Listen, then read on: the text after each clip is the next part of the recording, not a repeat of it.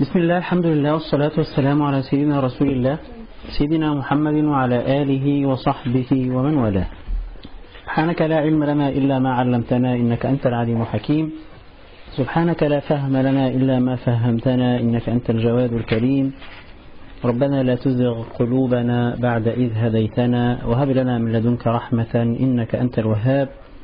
اللهم صل على سيدنا محمد في الأولين وصل على سيدنا محمد في الآخرين وصل على سيدنا محمد في كل وقت وحين وصل على سيدنا محمد في الملأ الأعلى إلى يوم الدين. أما بعد حياكم الله.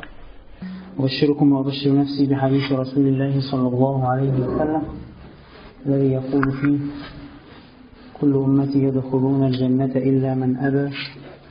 قالوا من يأبى يا رسول الله؟ قال من أطاعني دخل الجنة ومن عصاني فقد أبى. صدق رسول الله صلى الله عليه وسلم. ما زلنا في التعرض والاستفادة من علوم شيخ مشايخنا السيد عبد الله بن الصديق الغماري رحمه الله. في رسالته الماتعة الموسومة باسم إتحاف الأذكياء بجواز التوسل بالأنبياء والأولياء. السيد عبد الله رحمه الله حين ألف هذه الرسالة لم يبدأ هو. هذا الرأي القائل بالجواز وإنما من ميزات السادة الغمارية. إنهم ناس مطلعين على العديد من الكتب والرسائل والبحوث والمؤلفات والمخطوطات التي لا يطلع عليها عادة الكثير من أهل العلم. فهو رجل مستحضر يعرف مواطن الأدلة ويستطيع أن يجمعها في صعيد واحد لتأييد القضية التي يبحثها.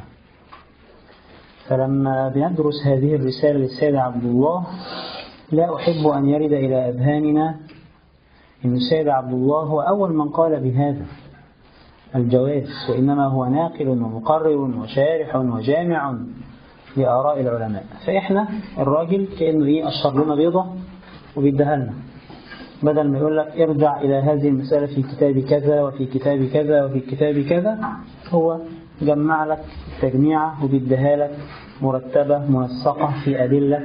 رتبها أولا فجعل أدلة القرآن في البداية ثم أدلة السنة أو السنن والآثار. الشيخ ذكر أربع أدلة حتى الآن على جواز التوسل بالأنبياء والأولياء. وقلنا التوسل معناه طلب الوسيلة أو أن يجعل المسلم أمام حاجته أو أن يقدم المسلم أمام حاجته من يثق فيه من نبي أو من يؤمن به من نبي أو من يثق بولايته من ولي. فيجعل هذا الولي أو هذا النبي بينه وبين الله تعالى. كأنك لا تستطيع أن تدخل على الله عز وجل بنفسك ولكنك تستحضر عمل هذا الولي الصالح أو عمل هذا الرجل الصالح. فتتقرب به إلى الله سبحانه وتعالى. الشيخ استدل على هذا بأربع آيات من القرآن وأورد فيها أقوال المفسرين والآن بنبدأ في الدليل الخامس الذي يبدأ فيه ذكر الأدلة من الأحاديث والآثار. تفضل يا شيخ أحمد. بسم الله الرحمن الرحيم. قال شيخنا الله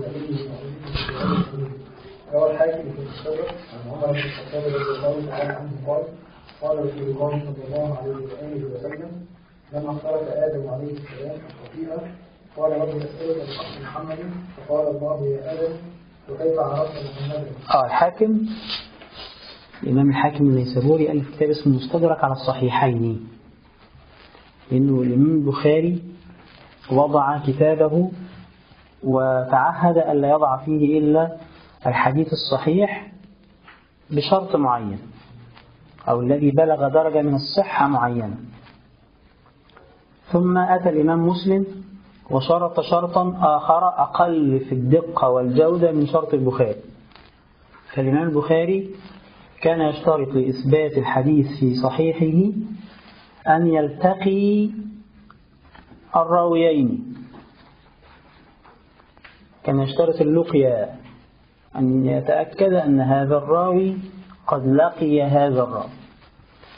الإمام مسلم كان يشترط المعاصرة أن يكونا متعاصرين وإن لم يلتقيا وكل واحد منهم وضع هذا الشرط ووضع كتابه بناء على هذا الشرط. وبناء على ذلك لم يستوعب الصحيحين كل حديث صحيح مش كده؟ لم يستوعب الصحيحين كل حديث صحيح. فجاء الإمام الحاكم وألف كتاب المستدرك على الصحيحين يعني أحاديث هي على شرط البخاري ولم يردها البخاري. وأحاديث هي على شرط مسلم ولم يردها مسلم. فإذا هذا الحديث الذي سنذكره الآن هو عند الإمام الحاكم في أعلى درجات الصحة. واضح كده؟ طيب. روى الحاكم في المستدرك. روى الحاكم في المستدرك عن عمر بن الخطاب رضي الله تعالى عنه قال قال رسول الله صلى الله عليه وسلم لما خلق آدم عليه السلام خطيئته قال رب أسألك بحق محمد- فقال الله يا آدم كيف عرفت محمدا؟ ولم أخلقه. قال يا ربي أنك لما خلقتني بي- بيدك ونفخت في من روحك رفعت رأسي فرايت على قوائم على قوائم العرش مكتوبا لا إله إلا الله محمد رسول الله. فعلمت أنك لم ترد إلى اسمك إلا أحب الخلق إليك. فقال صدقت يا آدم صدقت, يا آدم. إنه لاحب الخلق إليك. إذ, إذ إذا سألتني بحقه فقد إذ سألتني بحقه فقد غفرت لك ولولا محمد ما خلقت. رواه الطبراني وزاد فيه وهو آخر الأنبياء من ذريته. قال الحاكم صحيح ورد عليه الذهبي فقال بل موضوع والحق أن الحديث ليس بصحيح. آه يبقى الحاكم قال هو صحيح. في أعلى درجات الصحة من المفترض لأنه ألف كتاب المستدرك يستدرك على ماذا؟ هو مسلم. الحافظ الذهبي قال إن هذا الحديث موضوع يعني لم ينطق به النبي صلى الله عليه وسلم أصلا. تشوف أنت عندك طرفين واحد يقول هو في أعلى درجات الصحة ومحدث آخر يقول هو موضوع خد بالك معايا علم الحديث يدخله الاجتهاد. علم الحديث يدخله ماذا؟ الاجتهاد. وفقا للاستقراء. استقراء ماذا؟ أحوال الرواة? لأنك بعد ما تقرأ في أحوال الرواة وسيرهم ومن التقوا من المشايخ وعلى يد من تتلمذوا ومن تلامذتهم وكذا القارئ لهذا بيستخرج فائدة أو بيستخرج حكم فيحكم على هذا الراوي المعين بأنه ثقة أو صدوق أو صدوق له أوهام? وبناء على ذلك لا تستغربوا من اختلاف المحدثين في الحكم على ماذا؟ في الحكم على حديث من الأحاديث تمام؟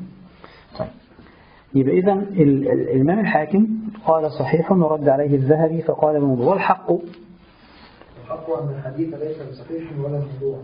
بل هو ضعيف فقط كما صرح به البيهقي في دلائل النبوة وقد وقد نقلت عبارته ورددت كلام الفهري من ستة وجوه وذكرت ما يشهد للحديث في كتابي الرد المحكم المتين ووجدت له شاهدا يرتقي به إلى درجة الحسن نعم. فروى ابن بشر طيب يبقى الحسين عبد الله هنا له كتاب آخر أو رسالة أخرى اسمها الرد المحكم المتين. خلاص؟ جاب هذا الحديث نفسه ونقل ونقل هناك كلام البيهقي الإمام البيهقي له كتاب اسمه دلائل النبوة محضه للحديث عن دلائل نبوة النبي صلى الله عليه وسلم وذكر معجزات النبي صلى الله عليه وسلم وخصائص النبي صلى الله عليه وسلم وصفات النبي صلى الله عليه وسلم. السيد عبد الله نقل كلام البيهقي في كتابه أو في رسالته الرد المحكم المتين وأتى لهذا الحديث بشواهد. يعني أتى لهذا الحديث بشواهد. يعني هو لوحده ضعيف. والضعيف من قسم المردود. الضعيف من قسم المردود. يعني الحديث عندنا مقبول أو أو مردود. المقبول ينقسم إلى قسمين صحيح وحسن. المردود هو الضعيف. فإذا قلنا إن هذا الحديث ضعيف يعني مردود لا يستشهد به. فهو من قسم المردود لا يلتفت إليه. لكن أيضا علماء الحديث يقولون ماذا؟ يقولون إن الحديث الضعيف إذا تعددت طرقه. تعددت طرقه. فإنه يرتقي لدرجة الحديث الحسن لغيره. إن الحسن إما حسن لذاته أو حسن لغيره. فيرتقي لدرجة الحسن لغيره. والحسن من قسم المقبول. الحسن من قسم المقبول. فيكون مقبولا يعني يستشهد به يعني يعتمد عليه إلى آخره. طيب يبقى إذا الحديث الضعيف يا جماعة لا يترك. هو نعم. لوحده كده مردود. لكن العلماء ماذا يفعلون؟ يبحثون عن شواهد عن متابعات لهذه الأحاديث علها علها ترتقي لدرجة الحسن ده طبعا بيحتاج إلى اطلاع عظيم على كتب السنة ومدوناتها سيد عبد الله جمع في كتابه الرد المحكم المتين روايات لهذا الحديث فارتقت عنده سيد عبد الله محدث. السيد أحمد أخوه كان من كبار المحدثين. فراجل متتبع راجل عارف الكتب عنده اطلاع عظيم على الرواة وأحوالهم وكذا. فسيد عبد الله جمع شواهد هذا الحديث. وإن كانت كل طرقه ضعيفة إلا أنها وفقا لموازين المحدثين فإنها ماذا؟ ترتقي لدرجة الحديث الحسن أي المقبول. ومن أراد أن يطلع على التفاصيل فليرجع لكتابه الرد المحكم المتين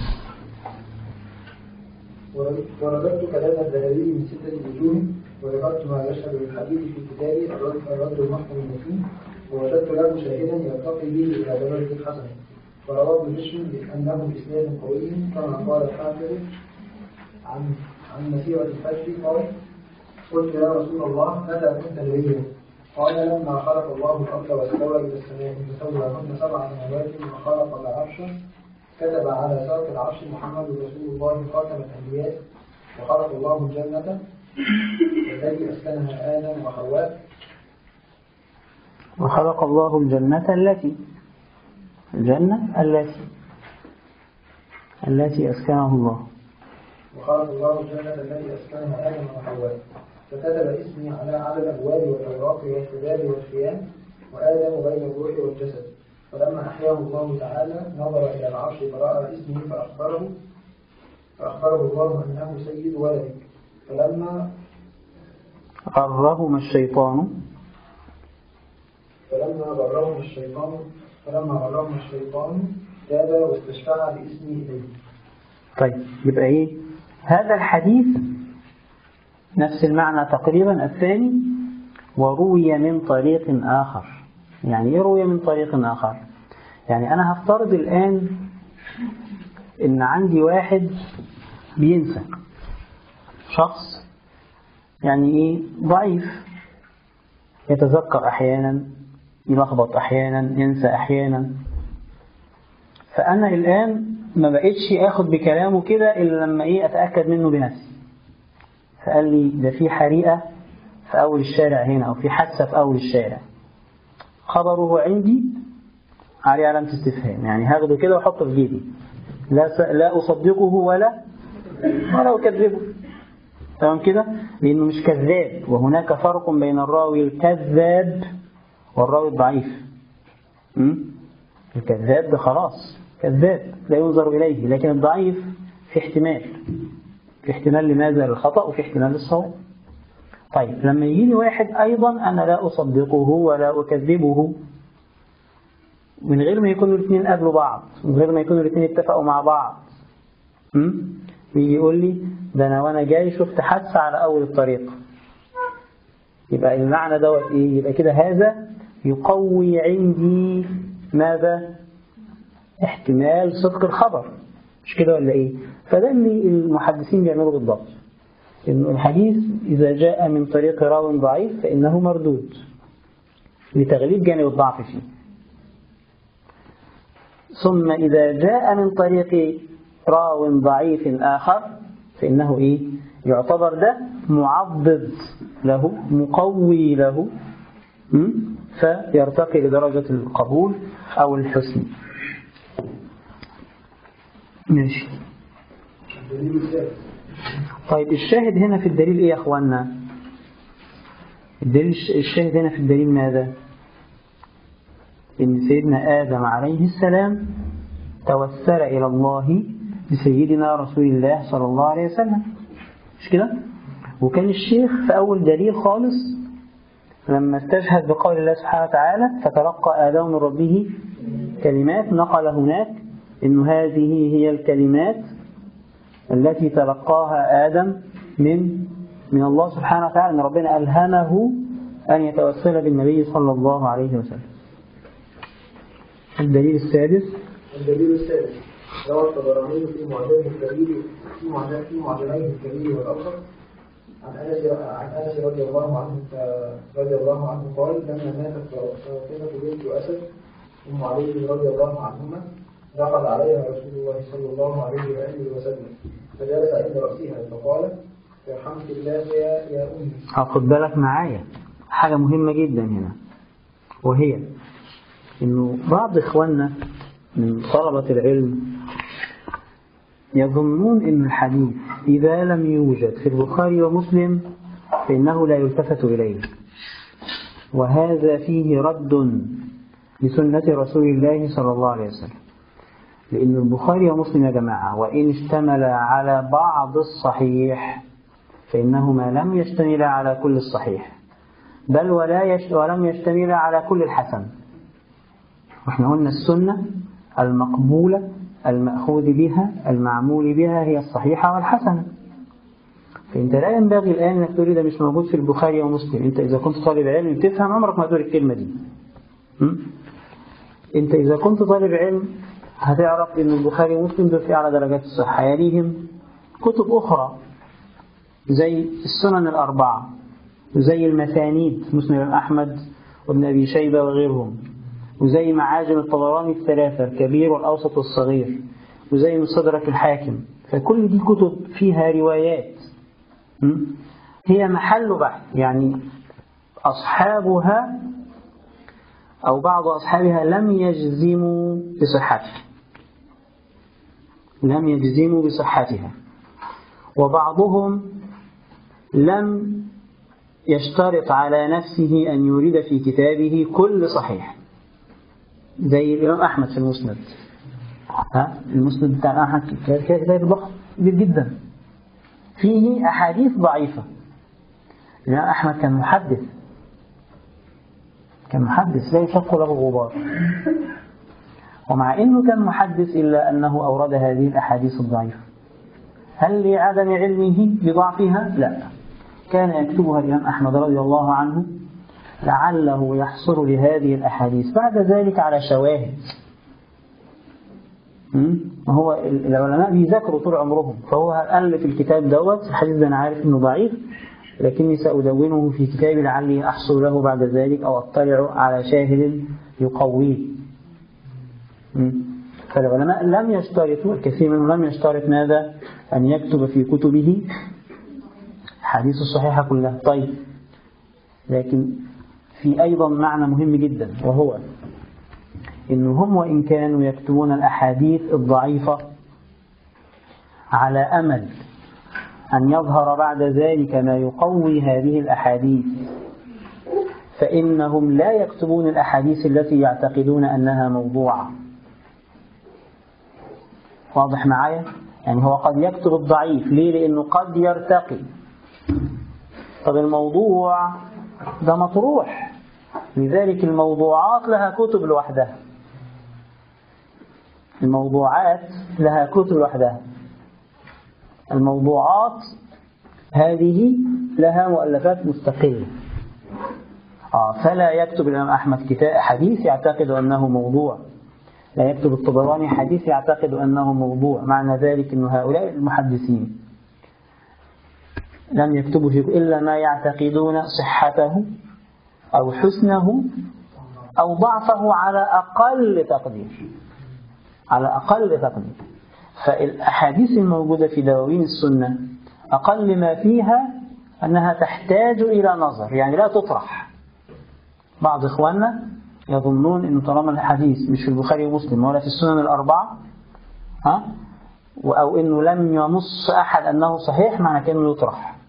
هذا فيه طرح لسنة النبي صلى الله عليه وسلم.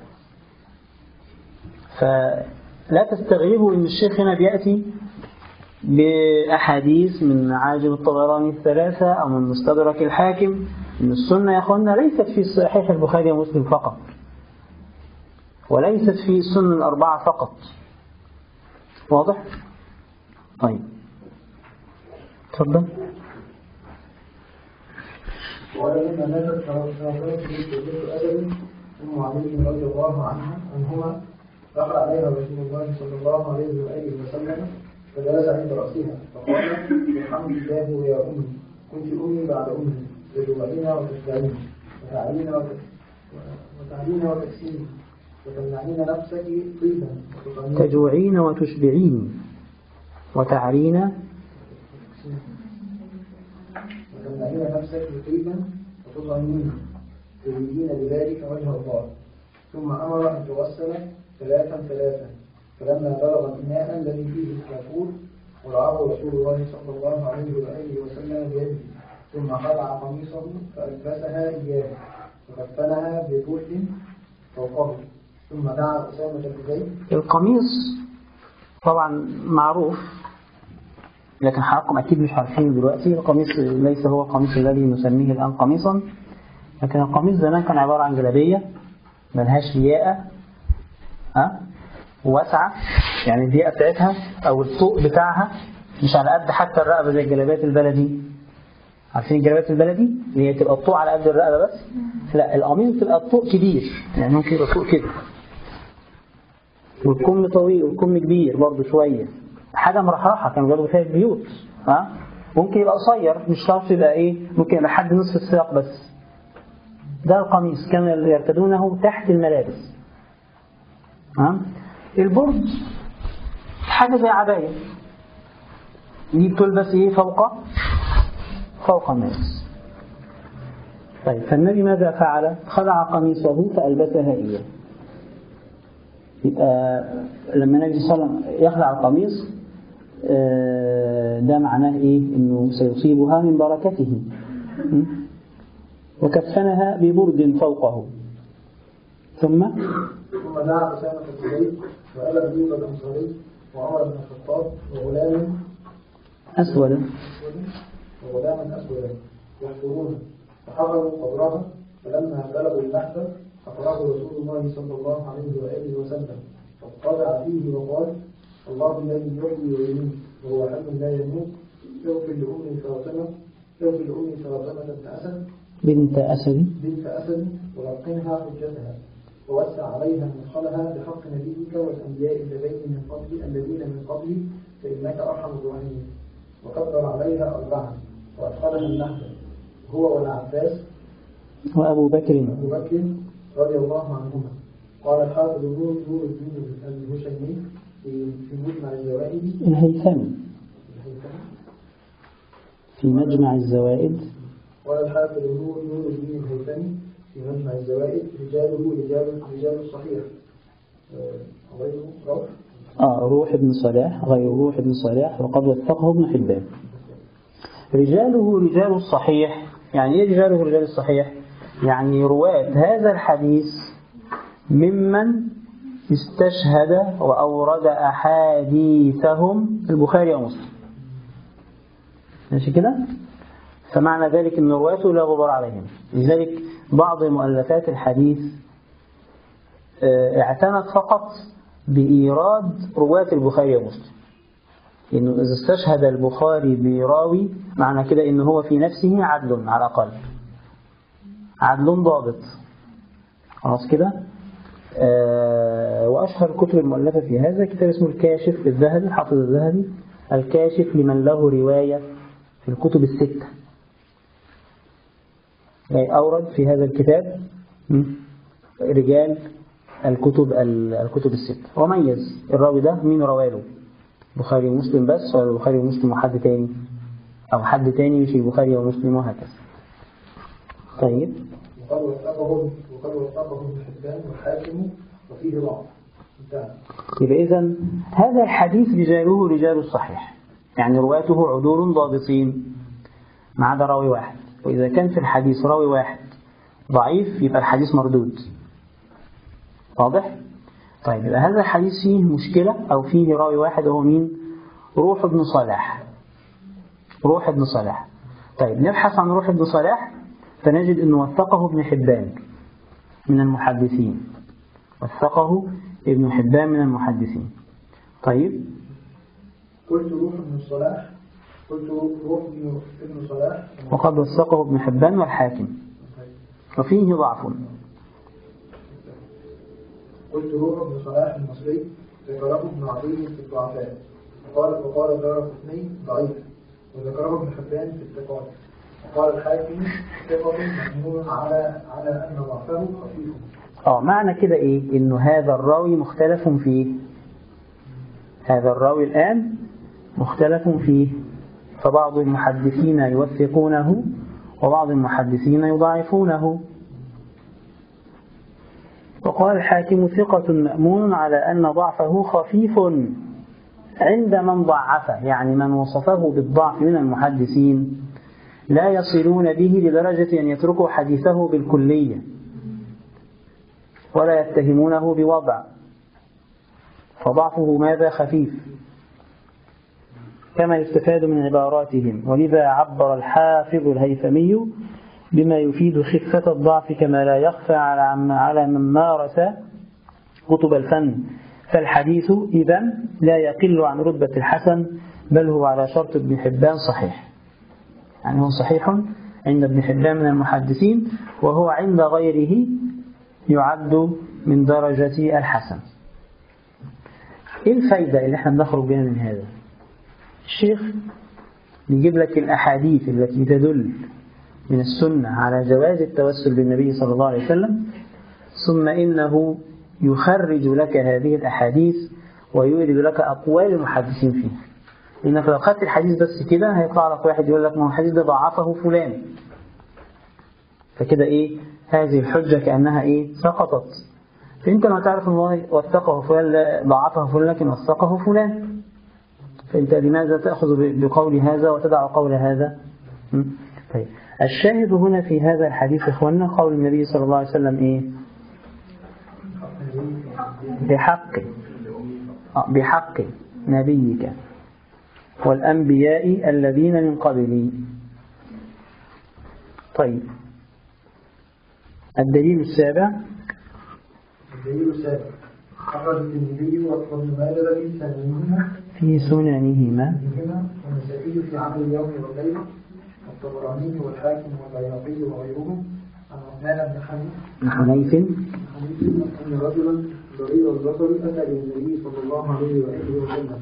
فقال قل الله يا أن يعرفني قال آه هذا الحديث من أقوى أحاديث الباب. هذا الحديث من أقوى الأحاديث التي يستشهد بها.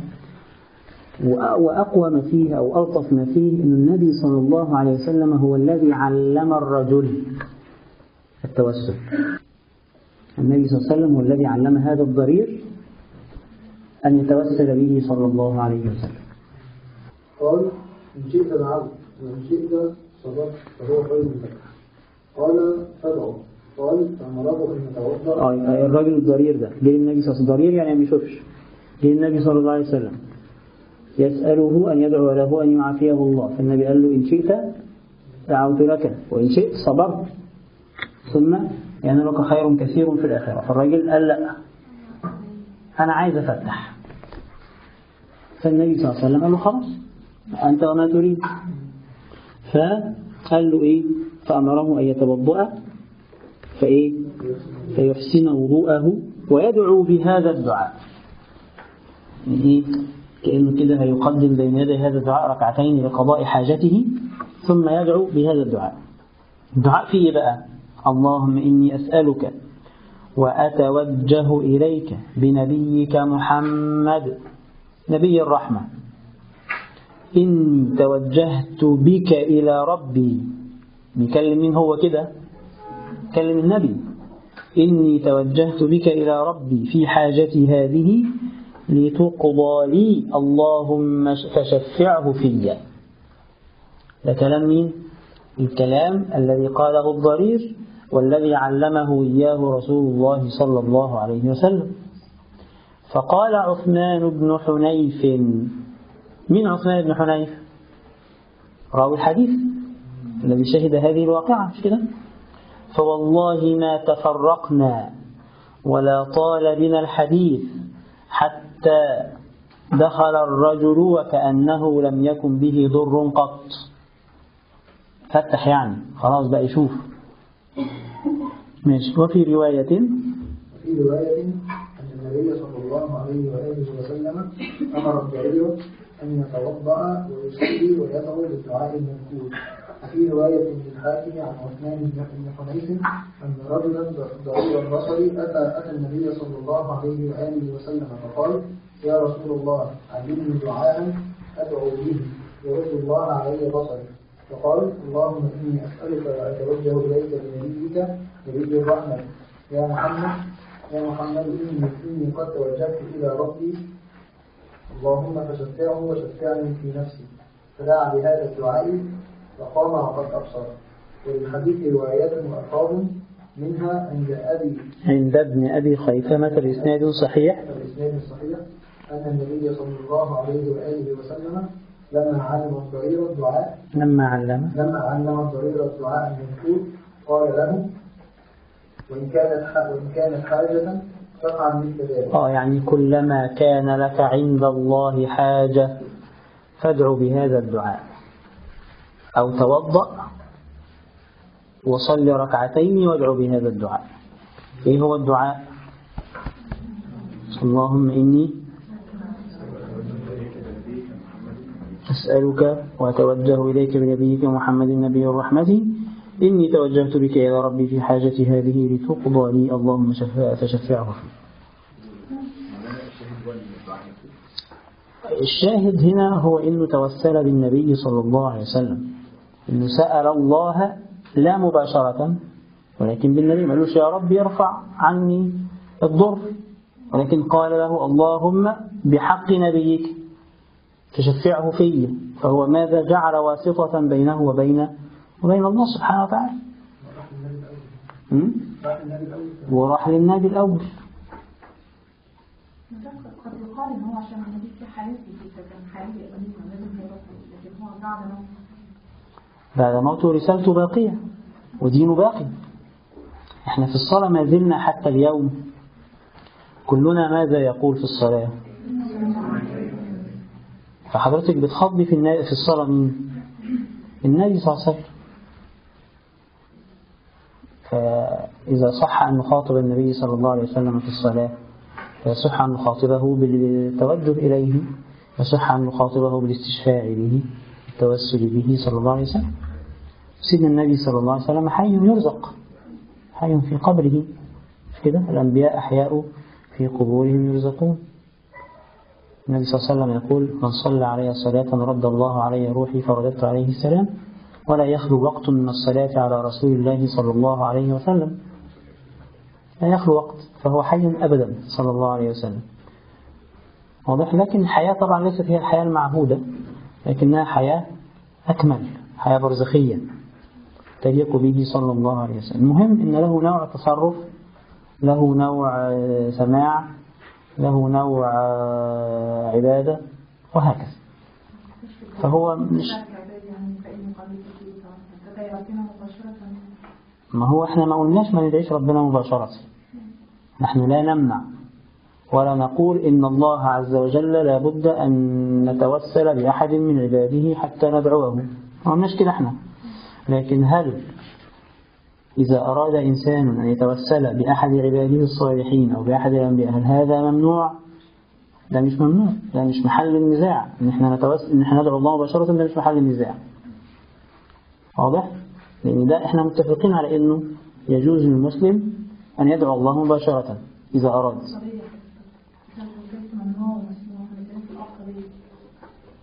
الأفضلية هي ما علمنا إياه رسول الله صلى الله عليه وسلم والرسول علمنا الأمرين. علمنا أن ندعو الله عز وجل مباشرة في أحاديث وعلمنا أن ندعو وأن نتوسل به هو صلى الله عليه وسلم أو بالصالحين في أحاديث أخرى. تفضل. وهذا يثبت التوسل في سائر الأحوال ثم إن الروايات كلها ثم إن الروايات كلها متفقة على أن الذين الذي دعا هو؟ دعا هو الرجل الضرير لا النبي صلى الله عليه وآله وسلم. ولهذا ترجم له البيهقي في دلائل آه يعني ممكن واحد متنطع يقول ده اللي قال الدعاء هو النبي صلى الله عليه وسلم فالنبي هو اللي دعا ربنا. فالنبي هو اللي يدعى فإذا كده مفيش وسط صح؟ فهو هنا قال لك لا الروايات متفقة على إنه النبي علم الضرير والضرير هو الذي دعا. والإمام البيهقي في دلائل النبوة أورد هذا الحديث تحت باب ما جاء في تعليمه. النبي علم الضرير. ماشي؟ ولهذا ترجم له البيهقي في دلائل النبوة بقوله كان ما جاء في تعليمه. دليل ما كان في شفاء ما كان في شفائه حين لم يبصر وما ظهر له وما ظهر في ذلك من في تعليمه الضرير ما كان فيه شفاؤه. ما كان فيه شفاؤه. حين لم يبصر. وما ظهر في ذلك من من آثار النبوة. حين لم يصبر نعم. حين لم يصبر نعم. النبي خيره تصبر فهو الراجل قال لا مش عايز مم. ولهذا ترجم له البيهقي في دلائل النبوة بقوله باب ما جاء في تعليمه الضرير ما كان فيه شفاء حين لم يصبر وما ظهر في ذلك من النبوة مم. وإن الحديث صحيح صححه الترمذي وابن خزيمة والطبراني والحاكم والبيهقي والمنذري والنووي والذهبي وابن حجر والهيثمي والسيوطي كل دول محدثين. بل لا خلاف بين المحدثين في صحته. وما قيل من أن أبا جعفر في سنده ليس هو الخطمي خطمي بل هو آخر مجهول ليس بشيء. والصواب أن أبا جعفر آه يعني إيه هذا الحديث متفق على صحته بين المحدثين المذكورين دول. اللي منهم ابن حجر واللي منهم النووي النووي رحمه الله واللي منهم الحاكم والبيهقي والمنذري وغيره. والذهبي حتى الحافظ الذهبي اللي هو يعني متشدد أحيانا في الحكم على الأحاديث الشبيهة بالحاجات دي. يبقى لا خلاف في أن هذا حديث ثابت وصحيح بخلاف الحديث اللي قبليه مثلا. واضح؟ طيب. وما قيل بعض الناس اعترض اعتراضا وقال إنه هذا الحديث في راوي اسمه أبو جعفر. ابو جعفر ده مجهول فما نعرفش من هو. فأصبح عندنا الآن في في سند الحديث؟ راوي مجهول. فيصبح ماذا ضعيف. ما نعرفش حال هذا الراوي. اللي هو ثقة حافظ عدل ضابط؟ ما نعرفش. فإذا الحديث يصبح ماذا؟ ضعيفا. جهالة الراوي. طيب. الشيخ هنا بيقول لك إيه؟ والصواب أن أبا جعفر هو الخطمي المدني. إن اللي قال ان الراوي ده أبو جعفر ده مجهول ليس هو الخطمي قال مش هو أبو جعفر الخطمي ده. فالشيخ هنا بيقول لك لا الصواب أنه أبو جعفر الخطمي المدني المعروف. كما جاء. الصواب أن أبا جعفر هو الخطمي المدني. كما جاء. عرفنا منين ان هو أبو جعفر الخطمي؟ قال لك في روايات كانت بتقول أبو جعفر بس. في روايات تانية قالت أبو جعفر الخطمي يبقى هذه الروايات التي صرحت وضحت المجهول في الروايات التي لم تصرح. صح كده؟ طيب.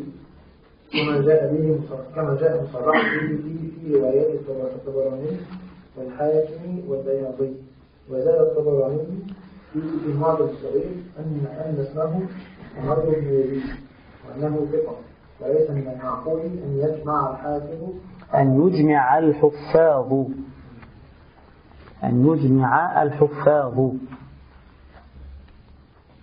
وليس من المعقول أن يجمع الحفاظ على تصحيح على تصحيح حديث في سنده مردود خصوصا الذهبي والمنذري والحافظ فمحاولة بعض بعض العصريين لتضعيف الحديث مقبل عليها بالفشل الكبير خصوصا الذهبي. الذهبي ليش معنى الذهبي؟ إن الذهبي مسائل التوسل والحاجات دي هو فيها شديد هو فيها مش من الايه ليسوا ممن يميلون لهذه المسائل. ومع ذلك هو أمام ال- السند العلمي لا يستطيع أن ينكر. فقال بصحته الذهبي وهو يدل على جواز التوسل بالنبي صلى الله عليه وآله وسلم في جميع الحالات وفي سائر الأوقات كما بينته وأوضحته ببضعة عشر وجها في كتابي الرد, الرد النبي. ويأتي لبيان ذلك هنا أن نقول آه، إن العلماء اللي عايز بقى من حركة يتوسع في هذه المسألة ويدرسها فلازم يستصحب معاه وهو بيقرأ في هذه الرسالة رسالة الرد المحكم المتين الرد المحكم المتين على من تلاعب بالدين أعتقد. ويكفي لبيان- ذلك هنا أن نقول إن العلماء فهموا الحديث على العموم كما هو الواجب في نصوص الشارع. فأورده الترمذي في كتاب الدعوات من سننه وال- والحكام. آه طريقة المحدثين في إيراد الحديث تدل على شيء من فهمهم للحديث.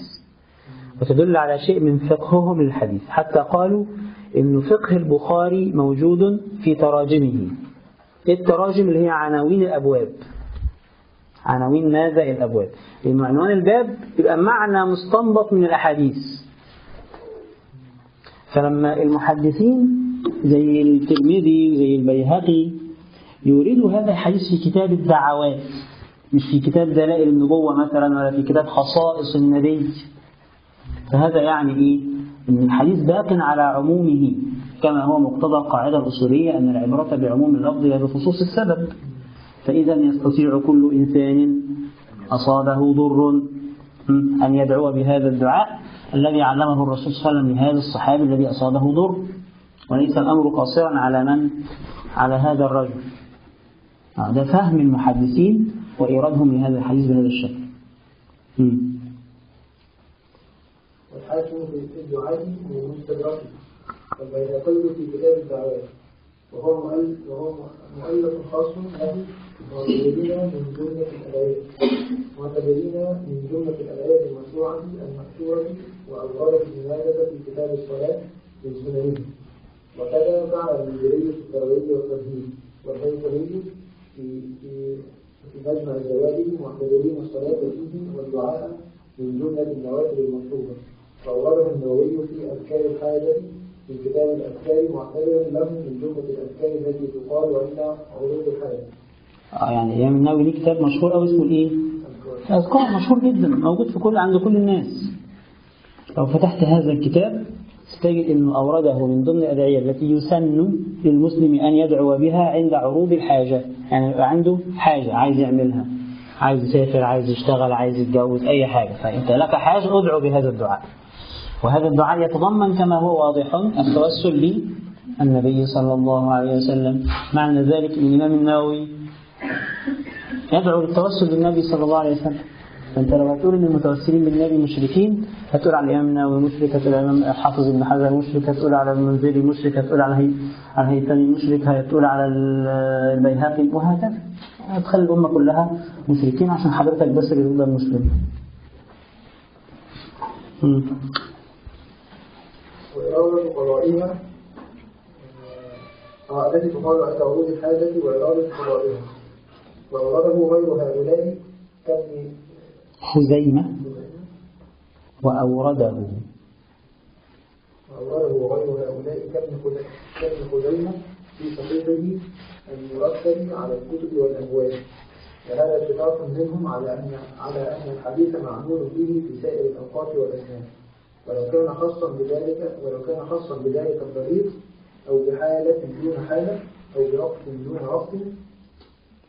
آه لم يكن لذكرهم لم يكن. لم يكن كلمة يكن. لم يكن لذكرهم له في كتب الأحكام وغيرها فائدة. أو لنبهه على أنه خاص ليس بعامة خاص بالصاد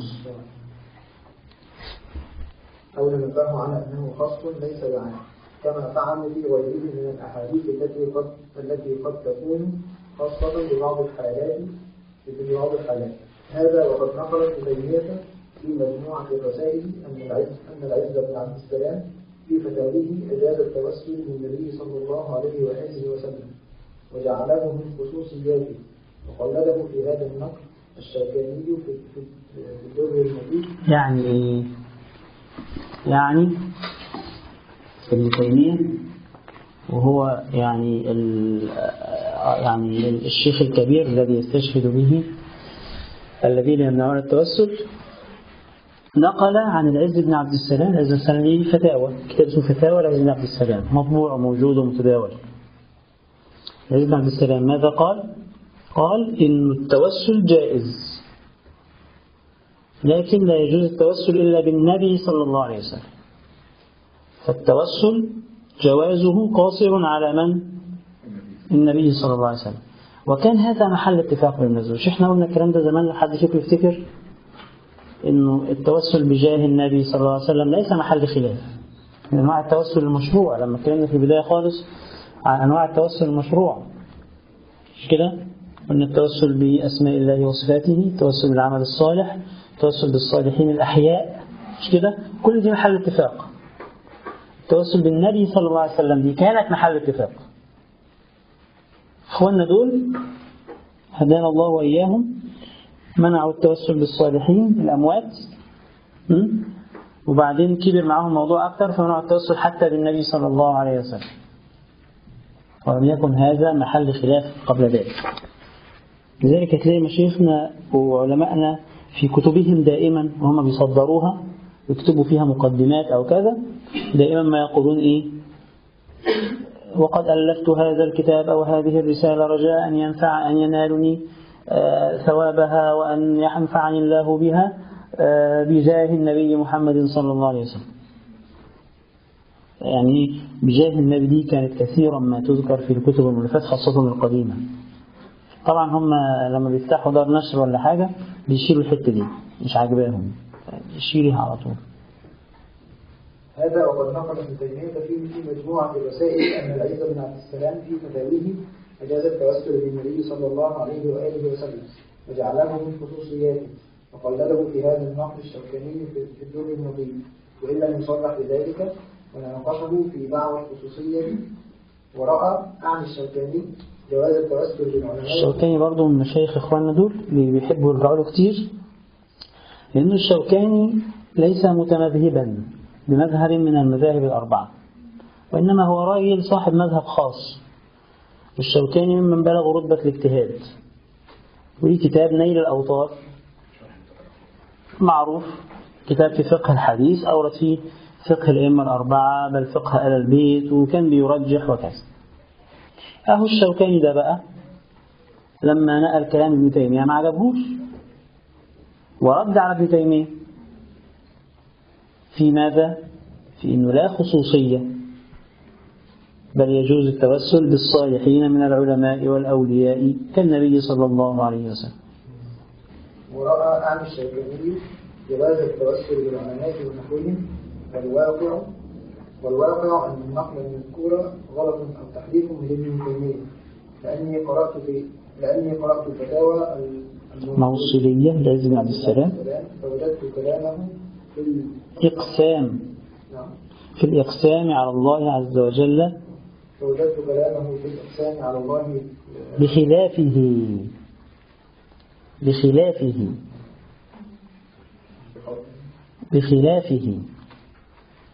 الشيخ السيد عبد الله عمل إيه بقى؟ راح الفتاوى الموصلية لمين؟ لعز عبد السلام. فلقى إنه ابن عبد السلام ما قالش هذا الكلام لم يقل بالخصوصية. وبالفعل عز بن عبد السلام لا يتصور أن يقول بالخصوصية. لا يتصور. مش مش تفكيره مش منهجه مش طريقته. الذي يجوز ان يجوز أن نتوسل بالنبي فقط لا يجوز أن نتوسل بالأولياء. فالشيخ رجع لكتاب الفتاوى الموصلية عليه السلام فوجد كلامه في الإقسام على الله عز وجل في فتوى بخصوص أن يقسم الشخص على الله سبحانه وتعالى. اللهم إني أقسم عليك بنبيك مثلا أن تفعل كذا. فهو الذي قال فيه أنه من خصوصيات النبي صلى الله عليه وسلم. يبقى الموضع موضع الذي فيه خصوصية هو ماذا؟ في أن تقسم على الله بالنبي. لا في التوسل. ودي مسألة ودي مسألة. فالعز بن عبد السلام أورد دعوة الخصوصية فين؟ في موضوع تاني. وهو موضوع إنه يجوز للمسلم أن يقسم على الله تعالى. اللهم إني أقسم عليك بحق نبيك إلا فعلت كذا. لأنه مكانة النبي معروفة فيجوز أن تقسم بمكانته لكن مكانة غيره غير قطعية. واضح كده؟ فإذا المسألتين مختلفتين. فابن تيمية ماذا؟ راح مركب دي على دي وحط دي مكان دي.